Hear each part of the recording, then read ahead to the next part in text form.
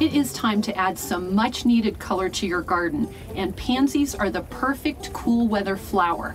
They're surprisingly hardy in our cold weather. Much hardier than I am, I got out of the cold weather and decided to plop myself down in the greenhouse and get started. Pansies do not like heat. They get leggy and straggly and they stop blooming. So don't wait until summer. Get planting now. I learned from Rob that planting pansies in patio pots with cool season greens like lettuce, kale, and spinach is not only attractive, but it's an easy way to have an edible garden at your fingertips. Pansies are one of several edible flowers that you can grow in your garden. Add them to your salad for a little flourish. They have a mild minty flavor. Oh, not bad. This is a new variety of pansy called Cool Wave, and it's a perfect choice for a patio pot or hanging basket because it cascades over the side and it has a ton of blooms. Pansies symbolize thinking or thoughts. The word pansy comes from French penser, meaning thought.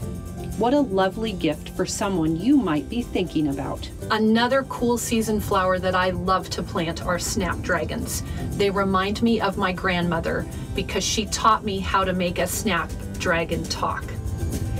It's time to plant your flowers now.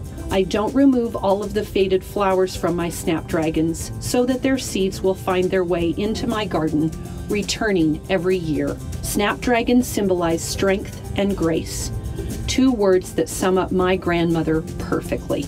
Anytime you transplant plants that you've brought home from a warm, protected greenhouse, make sure to acclimate or harden them off by gradually exposing them to outdoor conditions for several days. Bring them out during the day and bring them in or protect them at night, especially at a hard frost or heavy snow. Don't forget to fertilize your plants once a week. I start with a good grow fertilizer higher in nitrogen to promote strong green growth, then switch to a bloom fertilizer higher in phosphorus to get the flowers blooming. Water regularly so they don't dry out, and remove the faded flowers to encourage the plant to produce more blooms. Happy spring, everybody, and happy planting. Well, between snowstorms, anyway.